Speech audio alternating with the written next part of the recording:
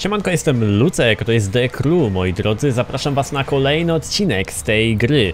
Dzisiaj będziemy sobie sprawdzać Mercedesa z DLC. I to jest Mercedes, Mercedes. Powiem wam dokładnie nazwę, nie chcę tutaj przekręcić znowu.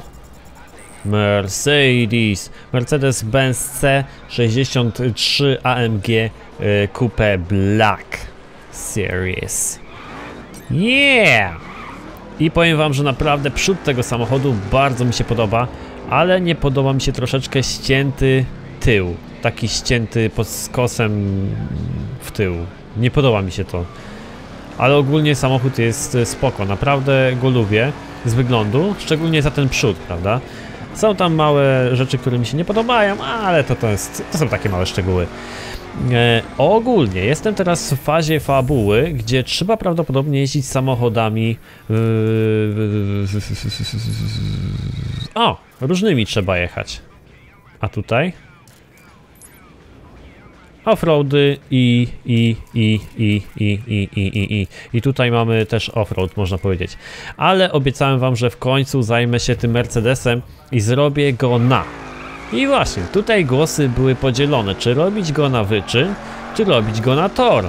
Powiem wam, że wersja torowa tego Mercedesa nie specjalnie przypadła mi do gustu, bo ten przód jest e, strasznie obniżony i mnie się to nie podoba właśnie w samochodach GT3. Ale z uwagi na to, że ostatnio kupiłem sobie nowy samochód, który po prostu wymiata jako samochód wyczynowy, którego zrobiłem sobie po prostu zajebistego i który mnie zaskoczył. Jest to Muscle Car, który mnie zaskoczył pod względem przyczepności.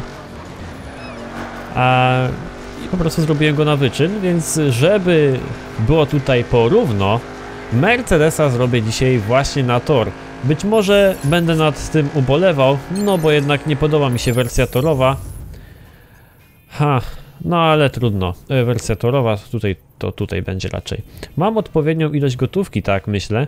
Chwileczkę, weźmy sobie jeszcze misję frakcji. Coś tutaj mam do odebrania? Chyba tu coś jest.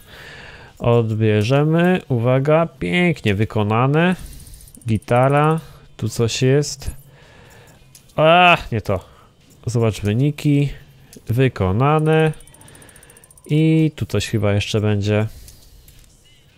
Dobra. Po 16 tysięcy. O, jeszcze tu coś mamy.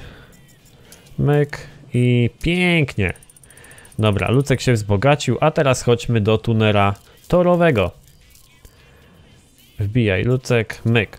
I przerobimy tego Mercedesa. Prawdopodobnie wersja torowa nie będzie miała zbyt wiele e, tych modyfikacji, które będziemy mogli sobie sami zmienić. Wow. Świetnie to wygląda, co? Taki wjazd na ten tunel aerodynamiczny, kurde. No dobra, wybieramy sobie zestaw. Poziom 40, innego nie można zresztą wybrać. I kupujemy. Niedużo kosztuje, świetnie. Jak dla mnie ekstra. Ojej. Chociaż w sumie zaraz się mu jeszcze przyjrzę dobrze, ale chyba nie wygląda aż tak źle. Uuu. Zobaczmy. E, Wcale ten tył nie jest taki obni... Jaki spoiler! Ej, podoba mi się. Wcale ten przód nie jest taki obniżony, aż tak bardzo. Chociaż znacznie się zmienił i troszeczkę się zniekształcił w stosunku do standardowej wersji, ale zobaczcie ten wydech tutaj, nie wiem czy to widzicie, w tym miejscu. Wow, niesamowite. No nawet ciekawie wygląda, nawet ciekawie. Niestety e, nie możemy tu zmienić nic poza tym. Czy są oficjalne? Ja bym wolał... Nie można oficjalnych wybrać. Wow. Podobają mi się te kolory. Znowu wybiorę jakiś szpitalny i będziecie pisać... Uuu. Niebieski mi się podoba. Nakleję. Uuu, a czemu zablokowany? Niedostępny dla tego auta. Wow. Słuchajcie, tego wozu nie można malować? Ciekawe. Jakieś ograniczenia licencyjne. Nie można tu nic zmienić. Słuchajcie, ale felgi można. Egzotyczne? o rany, nie, nie, nie, chyba nie. Retro też raczej nie pasują. Co tu było? E, teren też nie. Motyw wyścigowy chyba, co? Z motywu wyścigowego jest bardzo duży wybór. Jakieś sobie tu zaraz dobiorę. Uuu, było coś fajnego. Dalej. O, o, o, o, o, właśnie. Zobaczmy jak to wygląda. Hmm. Hmm, hmm, hmm. Nie, te mi nie pasują jednak. Te?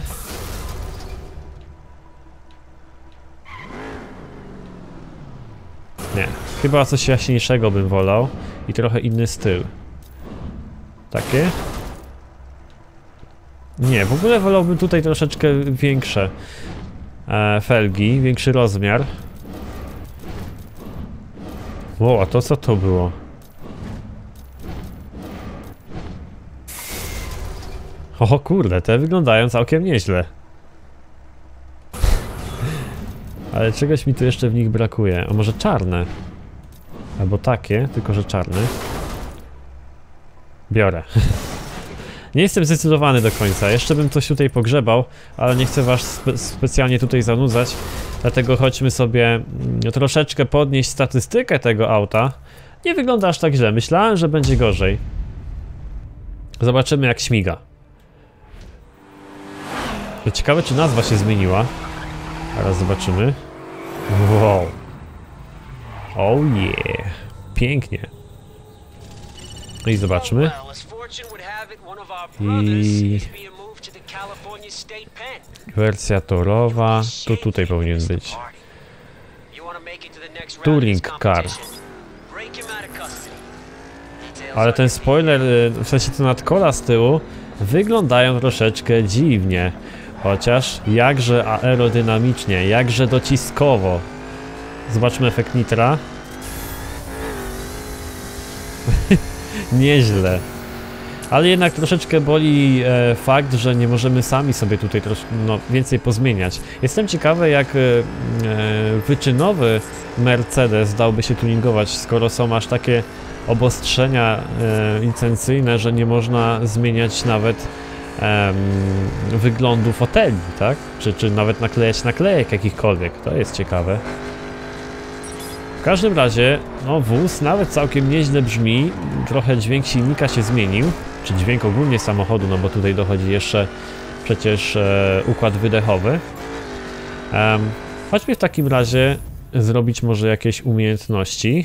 Szybciutko, nie będę was naprawdę zanudzał. A, test precyzji. O, nie mogę? Muszę tu dojechać. Uj. Ale tutaj będzie trzeba w drugą stronę zajechać, będzie lepiej. Mniej zakrętów. Mogę tutaj spory update, upgrade zdobyć. I mamy tutaj taką drogę mieszaną. To jeszcze nie jest asfalt, ale już nie droga polna. I na tej drodze, no samochód, mój samochód będzie miał jeszcze dobrą przyczepność. O kurde, ale grzeje nieźle. Chyba dopiero przesiadłem się z jakiegoś auta wyczynowego i dlatego mam takie wrażenie, że ten samochód jest super szybki. Albo po prostu jest super szybki. Z tego co mi pisaliście w komentarzach osoby, które grają w Dekru, mówiły, że no jest to całkiem dobry wóz. Dobrze. Ogólnie te wozy e, torowe z tuningiem torowym są świetne. Jeździ się nimi po prostu perfekcyjnie.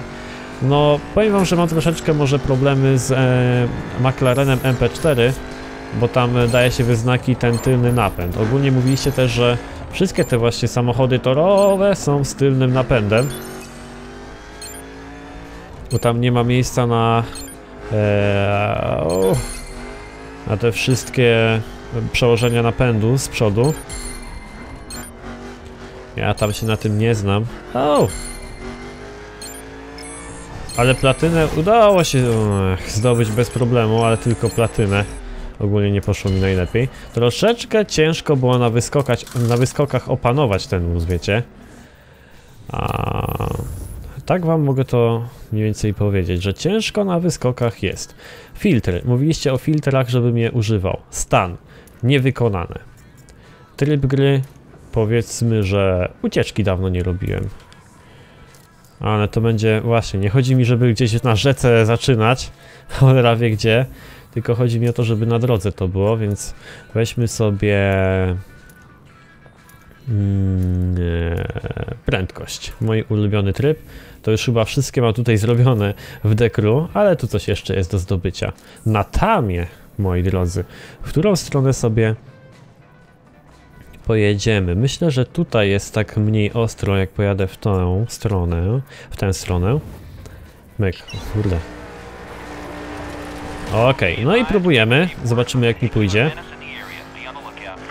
Policja coś się tutaj mną zainteresowała, ale chyba mnie nie dogoni ta korweta. Zobaczcie, policyjna.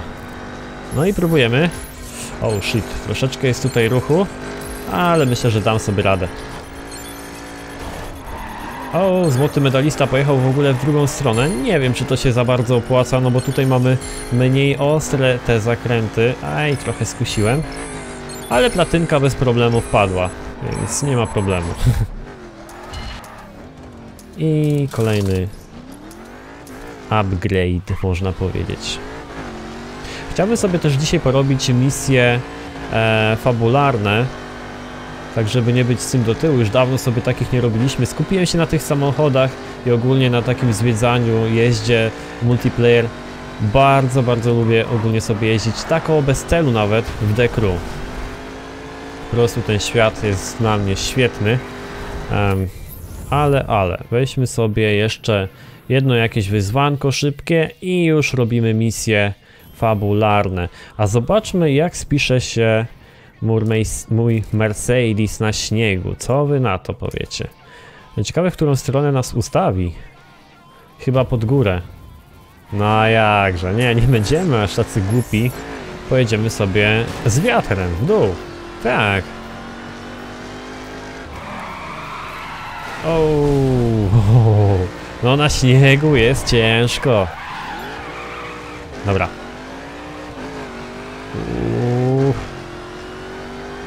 Dobra, i uwaga, lecimy.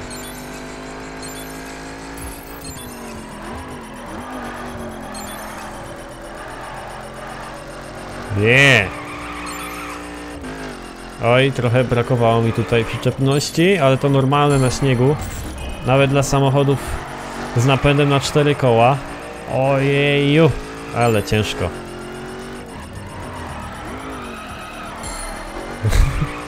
tu zaraz będzie prosta, zaraz będę mógł udepnąć. Jeszcze 9 sekund, może wystarczy. O nie, o nie, o nie, nie, nie. Tak, tak, tak, tak, tak. Jest, udało się platynkę zdobyć. No nie było łatwo, ale podniosłem znacznie statystykę mojego nowego samochodu. Nowego, starego. Powiem wam, że wersja y, ta y, torowa jest nawet całkiem dobra, ale mam już lepsze. No to kwestia oczywiście y, ulepszenia. Jedźmy solową misję, kolejną, fabularną w końcu. Niestety będę musiał tutaj jechać moim Silverado, którego udało mi się podnieść powyżej tysiąca e, punktów. Troy's on that bus. You know the guy who tried to kill you? Ooh. I know. If I don't do this, I don't get shit. Fine. Break him out. I'll keep him under surveillance. Aha, fajnie. Chyba będziemy musieli rozwalić autobus.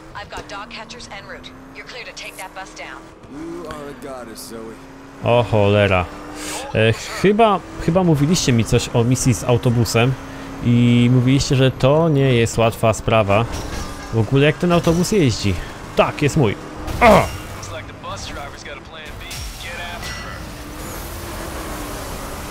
Ale można go za to łatwo trafić. O, o, policja nas goni. Dobra, i... Oh yeah!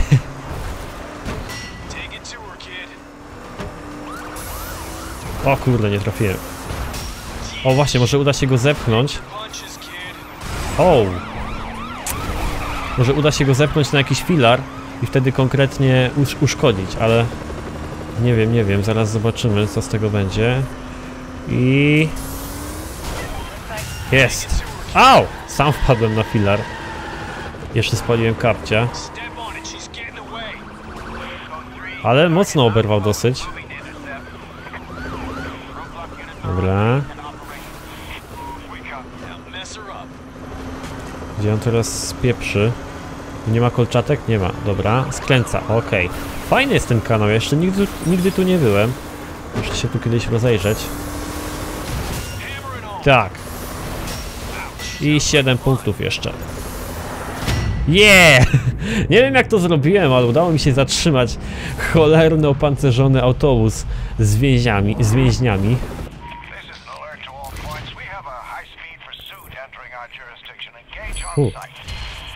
O, udało mi się platynę nawet zdobyć i ulepszyć tego Silverado. No ciekawe. Dobra. Powrót do swobodnej jazdy. I teraz zobaczymy, bo będą kolejne misje. Net. Dobre. Fajnie zgubił policję. Przeskoczył przez jakiś płot. Cholera wie gdzie, cholera wie jak. Podoba mi się to. Dobra. Kolejna misja znajduje się... Domyślne tagi tutaj. I graj. I tu będziemy jechać e, moim Grand Cherokee, najlepszym samochodem e, offroadowym, jaki mam w garażu.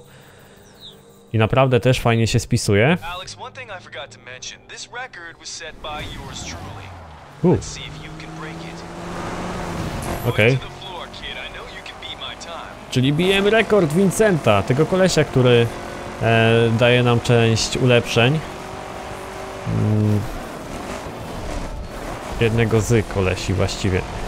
O. Myślę, że bez problemu uda mi się pobić ten wynik. Mam naprawdę nieźle stuningowanego mojego Jeepa.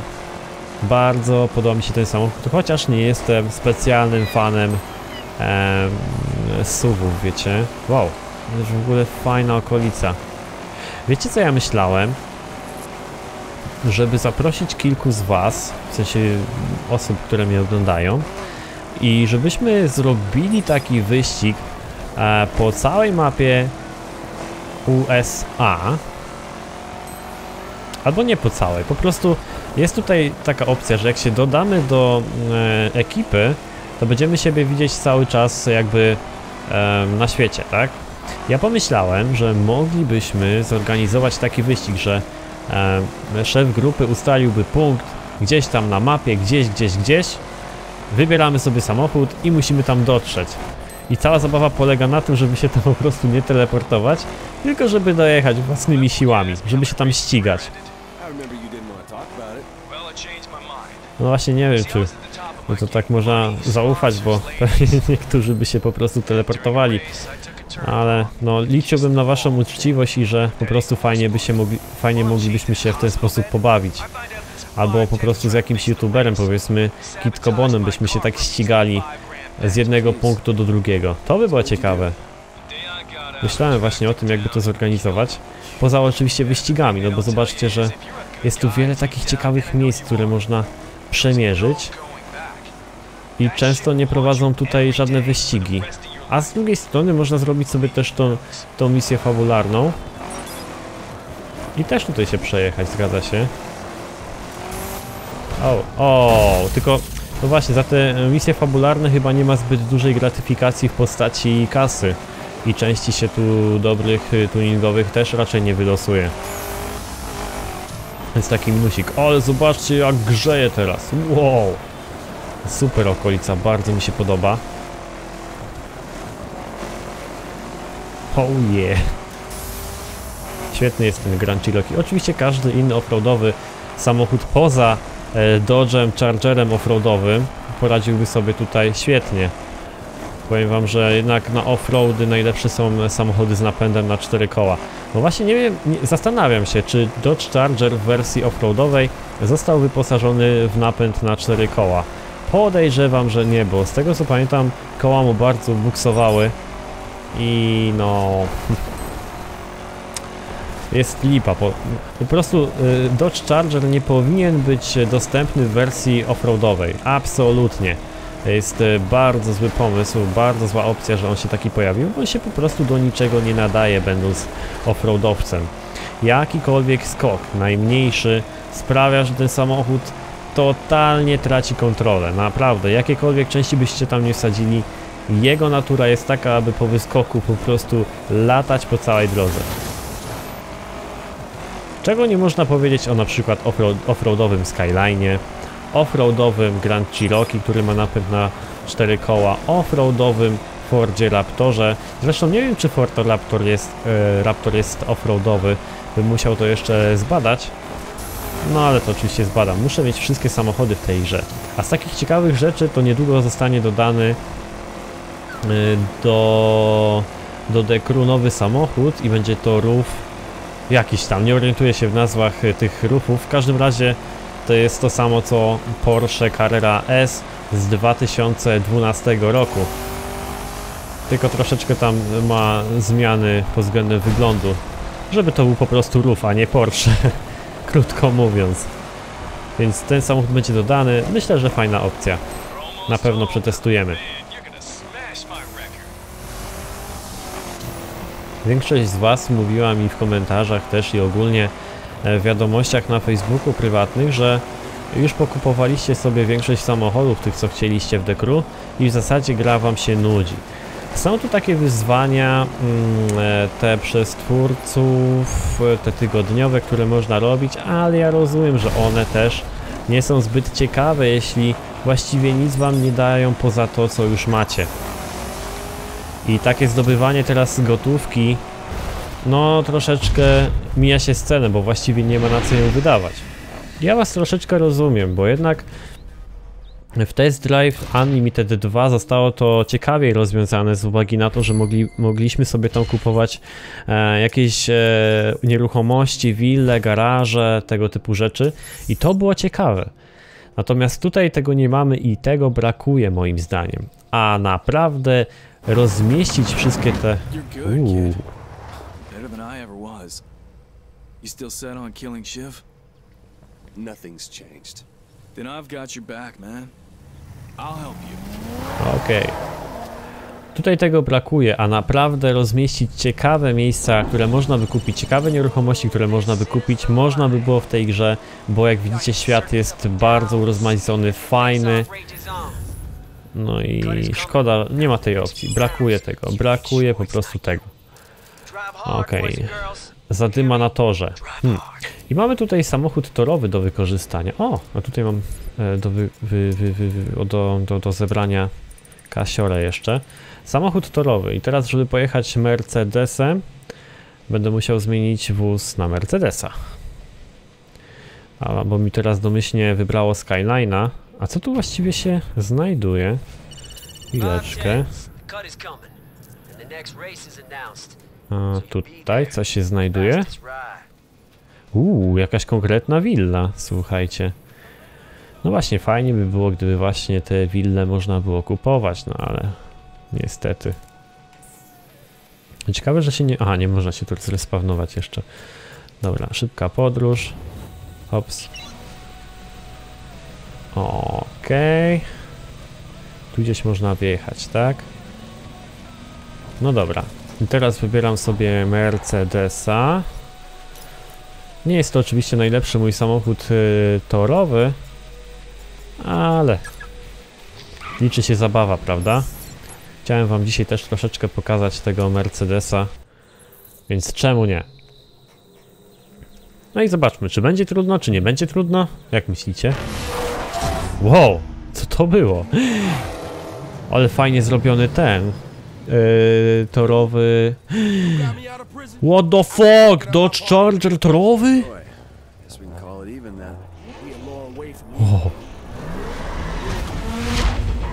No shit. Nie ma go jeszcze w grze, w sensie dla graczy, tak żeby można było sobie zrobić, ale jeśli jest jako e, w grze jako taki, to prawdopodobnie później też się pojawi i będzie dostępny. Wow, to będzie zajebiście. Świetnie. Powiem wam, że już grałem e, w PvP właśnie na wyścigach e, na tym torze, nie na tym akurat, ale na innym torze, bo tu torów jest takich tego typu więcej, no bo to są po prostu Stany Zjednoczone i są tu wszystkie tory.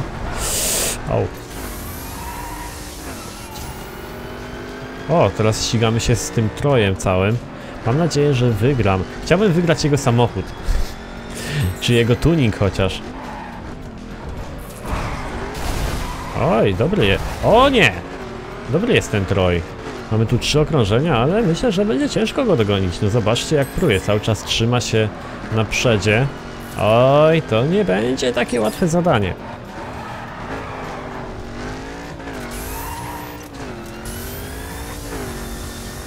Na razie Homan. Jednak się udało. I wiecie co jeszcze zauważyłem? Taką trochę smutną rzecz, bo osoby, które właśnie mają te wszystkie kontrole włączone, e, wygrywają zawsze przeważnie. Na przykład jadą e, i biorą, biorą zakręt jak chcą, na przykład jadą od wewnętrznej, hamują ostro po hamulcach i skręcają jak chcą i nic im się nie dzieje i wyprzedzają mnie. A ja tak nie mogę, ja muszę znacznie zwolnić, żeby dobrze zakręt wziąć, żeby go wziąć szerokim łukiem, bo nie mam kontroli trakcji ani kontroli, znaczy pomocy w sterowaniu. I to mnie trochę frustruje, bo jednak wolałbym, um, aby chociaż, nie wiem, e, ten mój trud włożony w e, uporanie się z tym sterowaniem był wynagrodzony chociażby w reputacji albo w gotówce, żebym zarabiał więcej gotówki. A to się w ogóle nie przekłada ani na zarobki, ani na reputację, co mnie też troszeczkę tutaj boli. No ale trudno, ja dla własnej satysfakcji jeżdżę bez e, wsparcia. Jest tam, jest tutaj jakieś małe wsparcie. Wiem, że dla kierownic można całkowicie wyłączyć jakiekolwiek wsparcie.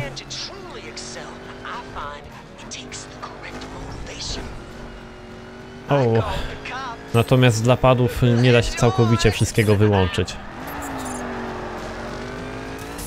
No dobra, mamy ostatnie już okrążenie. Jestem pierwszy.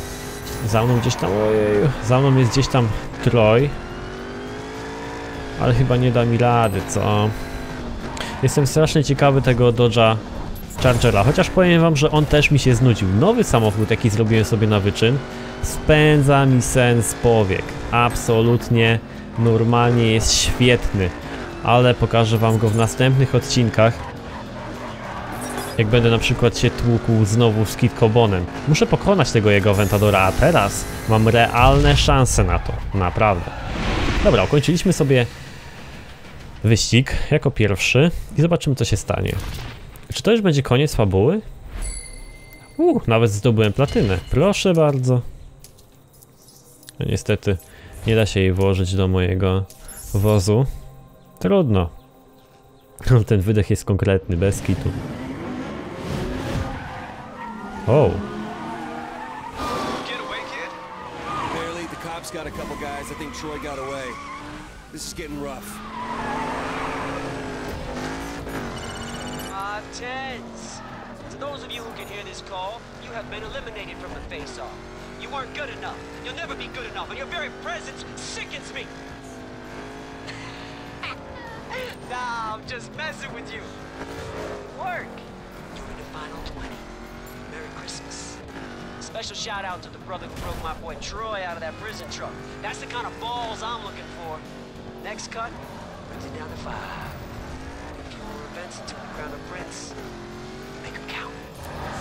Count. okej. Wow, ale tu jest piękny widok. Ja cię nie pierdzielę.